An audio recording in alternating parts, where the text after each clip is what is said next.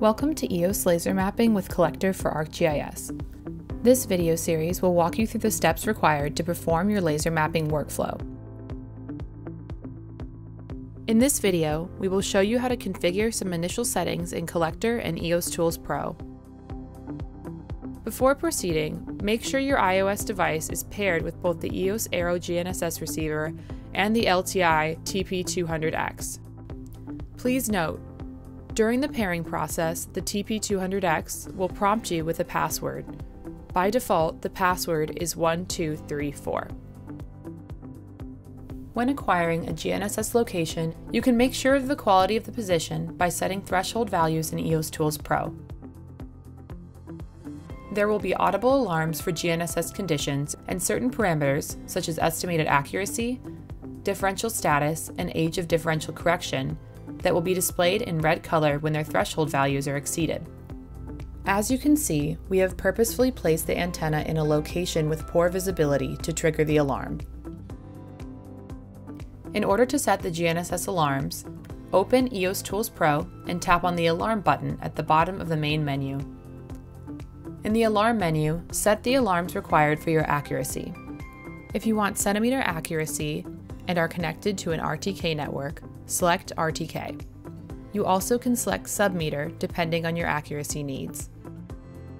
Now, back under the Position tab, you can see all the field data that is outside the alarm thresholds.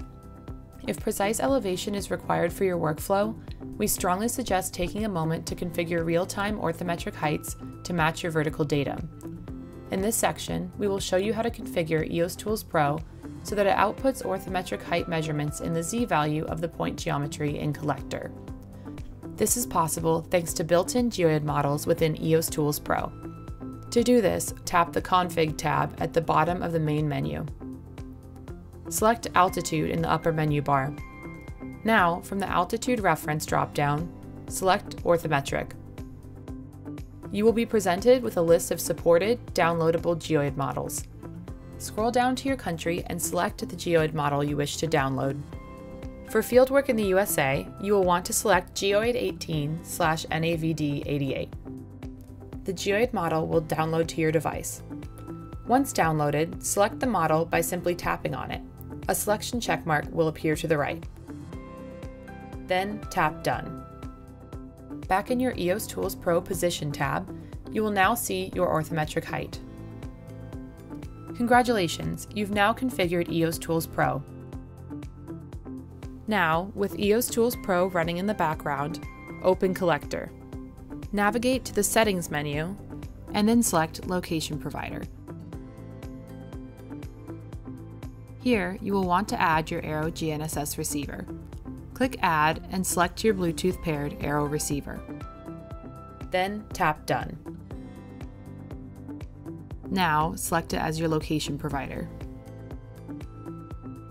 Once you have selected your location provider, click on the Offset menu. Now, select EOS Tools Pro.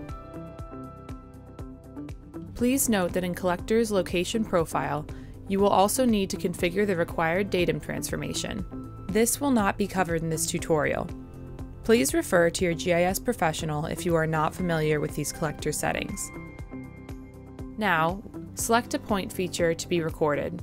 Please note that you will be able to record lines and polygons using the laser, and the geometry will be sent to Collector, including X, Y, and Z values, but not the other attributes. This tutorial only focuses on taking points. Next, select the ellipses icon that appears on the top right of the New Feature tab, and select Offset from Location. By doing so, the EOS Tools Pro Laser Offset page will open. Now, inside the EOS Tools Pro Laser Offset page, tap on the Settings tab. Input the height of your antenna and the height of the laser device. This is measured in meters. Setting the GNSS antenna height and the laser device height is critical for precise measurements. Please make sure you enter the correct information.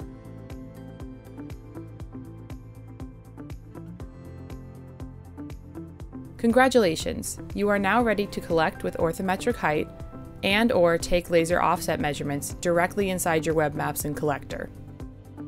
You will find a complete manual on how to set up EOS laser mapping with your kit. If you have any additional questions, please contact technical support on the EOS website.